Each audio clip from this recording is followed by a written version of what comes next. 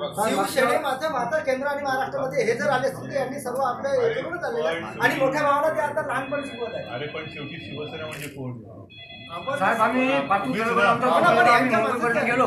पण आमचं गाव पूर्ण दुष्काळातून वगळलं जाईल पाचू तालुक्यात सुकले गाव म्हणून सर्व कास्तकार मुंबईपर्यंत गेले. काही लाभ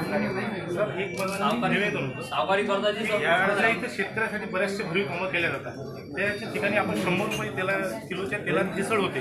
परंतु हजारो रुपये लिटरचं जे औषध आहे केमिकल्स आहे ह्याच्यात काय आहे आणि काय नाही आहे याचा कधी कोणी शेतकऱ्याला हे नाही. आणि त्याच्यावर पूर्ण लिटरचे रस्ते इंग्रजीत असते. ते कधी समजले आणि ते समजणार परंतु गाव पातळीवर जर दोन हजार लोकसंख्येचं किंवा पाच हजार लोकसंख्येचं जे गाव आहे त्या ठिकाणी जर एखादी लॅब असली आणि तिथे एखादा क्वालिफाईड तुमचा ते ट्रीट करणारा शेतावर जाऊन किंवा या पिकाला काय झालं आणि काय नाही झालं आणि ते जर केलं आणि त्याला जर लॅबमध्ये औषध आणल्यानंतर लॅबमध्ये दिलं आणि त्याला सांगून द्यायचं बाबा तू हे औषध घे फवारणी कर.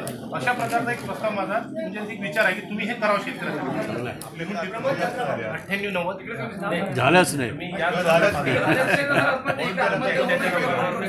ते आता तुम्ही असं जोडू शकत नाही असं काही सगळं चाललेलं आहे. साहेब, पुढच्या महिन्यापासून जेव्हा शेतकऱ्याला कर्ज देतात तर बँक सक्तीनं विमा काढून घेऊन राहिली.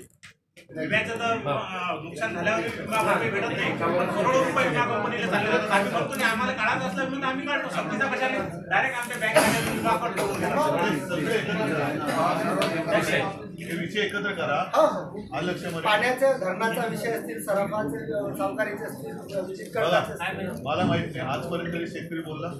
नाही. मला तरी शेतकऱ्याला बोलून दे आम्ही खूप बोललो. आम्ही नेहमीच बोलतो आणि नेहमीच बोलणार. पण ज्याच्यासाठी बोलतो तो बोलला का आजपर्यंत? त्यांनी बोललं पाहिजे तुम्हाला व्यासपीठ मिळते आता. यापूर्वी नाही. नव्हतं व्यास आम्ही येणार तुमच्याकडे आम्ही सगळं ऐकणार आम्ही बोलणार आम्ही आमच्या परीने लढणार सगळे. पण म्हणून मी पुन्हा पुन्हा सांगतो जोपर्यंत तुमचा सहभाग त्याच्यात होत नाही तोपर्यंत आपण यशस्वी होणार लक्षात त्याच्यामुळे मला आता शेतकरी मागे आपण सगळं केलं कर्जमुक्तीचे मेळावे घेतले येता आंदोलन केलं कापूस दिंडी काढले सगळं काढलं पण आता मोठ्या प्रमाणावरती शेतकरी याच्यात उतरला पाहिजे. आणि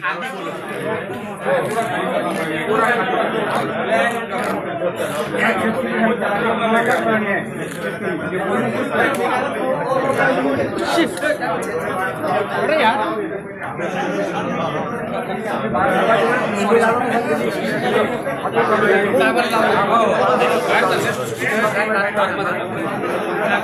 चाललंय?